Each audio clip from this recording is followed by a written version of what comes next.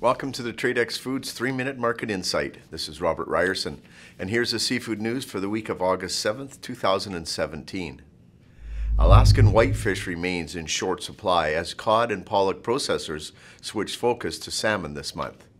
Nearly two thirds of the Pacific cod quota in the Western Gulf has been harvested, with 35,000 metric tons remaining of the 64,000 metric ton quota for the entire Gulf of Alaska.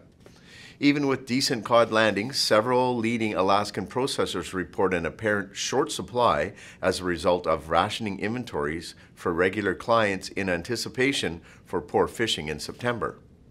Some vendors even report carrying enough inventory to last regular contracts with Pacific cod fillets through until February of next year.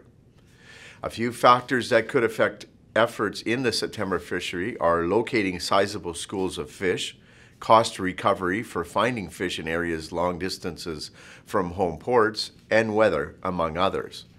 We do not expect much fillet production from the fall Pacific cod fishery, as most fillets come from the A fishery. So we do so we do expect processors to continue to be cautious with their current inventories. All of these factors affect the current pricing of Pacific cod fillets. 48 ounce shatter pack fillets are at 360 a pound in Seattle, whereas larger fillets like 32 ounce up are nearly $4.20 a pound. For pollock in the cent- in the western and central Gulf, about 81,000 metric tons of Alaskan pollock have been harvested as of last month, with about 58% of the 191,000 metric ton quota remaining. The majority of the landings from this area will be used for single frozen fillet production. In the Bering Sea and Aleutian Islands, landings typically go to China for further processing, and about 25% of the 1.18 million metric ton quota remains. Good inventories of smaller sized pollock fillets can be found in most West Coast storages around $1.65 for 2 to 4s.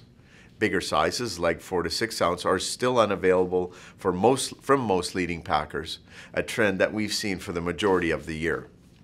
We expect stock levels of 1 to 2 ounce and 2 to 4 ounce Alaskan pollock fillets to last through most of 2017 after adequate landings in January and February. Finally, our Tradex Live offer of the week is for 2 to 4 ounce IQF Sinbad pollock fillets. These are number one quality, twice frozen, packed 4 by 10 pounds, and available for pickup in Los Angeles for $1.15 US. Click or tap the icon above to view this offer. Thank you for joining me for the Tradex Foods 3 Minute Market Insight. This is Robert Reierson. Buy smart and eat more seafood.